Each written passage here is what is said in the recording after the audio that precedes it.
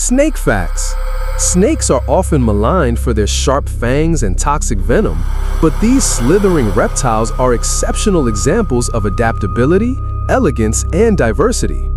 Snakes have long played an important role in many cultures, with some societies worshipping them while others feared them.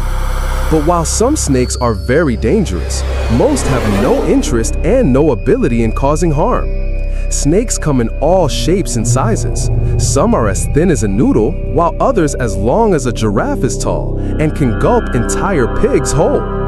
Their unique skins have evolved into either smooth or coarse scales depending on species, flaunting all the colors of the rainbow and a truly mesmerizing array of patterns. Snakes have evolved to live in all sorts of habitats, from the land to the sea, and can be found all around the globe slithery snake facts. They may not have legs, but snakes can still move very quickly. Black mambas can slither at speeds up to 19 kilometers per hour, while sidewinder rattlesnakes can reach speeds of up to 29 kilometers per hour.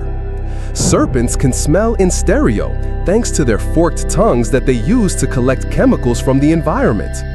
Some vipers also have pit holes, small openings on their faces that sense heat the same way we sense colors, basically providing them heat vision. A snake's scales aren't separate pieces of their outer body, but are one single piece of skin folded several times. Serpents don't chew, rather they swallow their prey whole. Some species can consume animals as large as an alligator.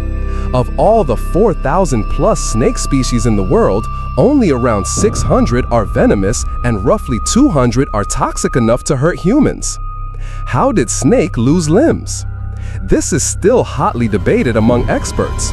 Snakes are thought to have emerged 170 million years ago and then lost their legs in what scientists have called one of the most dramatic transformations in the evolutionary history of vertebrates.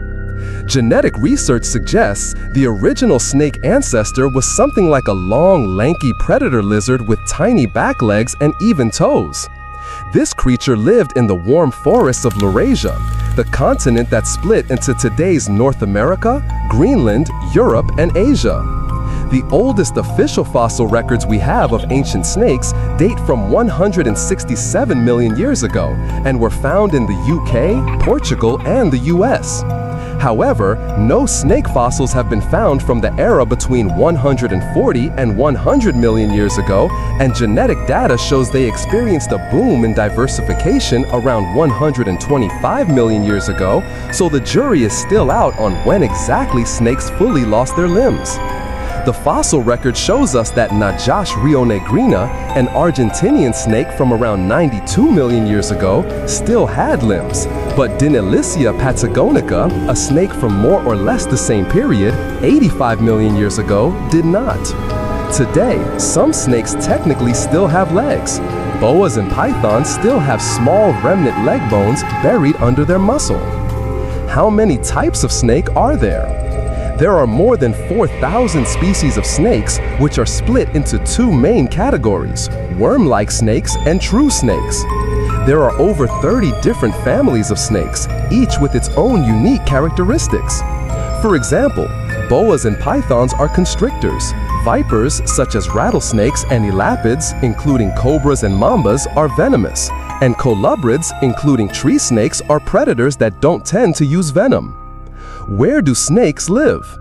Snakes can live on land and in water and can be found almost everywhere in the world, except for Antarctica and islands, including Ireland, Iceland, and Greenland, as well as many Atlantic and Pacific islands. That isn't to say that all islands don't have snakes, however. The tiny Brazilian island of Ilha da Queimada Grande, for instance, has a snake for every square meter of land and the highest concentration of venomous snakes on the planet.